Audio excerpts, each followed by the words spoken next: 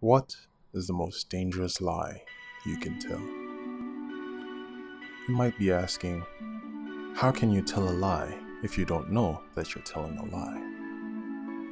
Well, let me explain. Let's imagine that you're at the ATM. There are two machines available, but everyone is lined up for machine number one. You step in line and you ask the question, What's wrong with machine number two?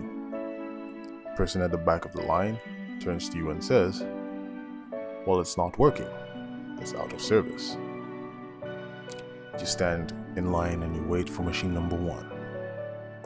Now let's imagine another gentleman walks in behind you and he asks you the same question. Well, at this point, you could tell him you don't know, or do what everyone else has done and say, well, the machine isn't working. It is at this point that you've told a lie that you weren't aware of, bringing us right back to the question how can you tell a lie if you're not aware that you're telling a lie? The simple answer is you did not think to try it yourself. Now, I'm not going to tell you to stick some metal into a microwave or dunk your iPhone into a bucket of water. But I do believe there are certain things we must try to understand for ourselves.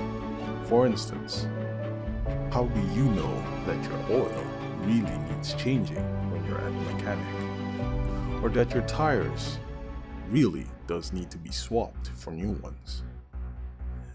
You can trust the mechanic and spend the money that they ask. Or you could do a bit of research and find out for yourself that your tires need to be at a certain thread depth before you need to change it. But that's overly simplified. Now, how about a deeper question?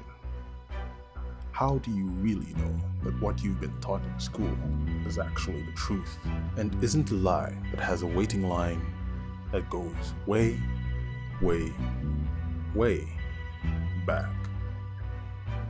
Well, you can't. You have to live with the fact that some of the things that you have learned may not be true.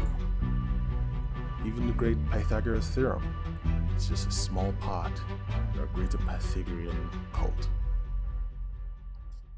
Now, what can you do about it? Well, just like the man at the back of the line, you can step forward, stop following, and try for yourself. Maybe you might discover something.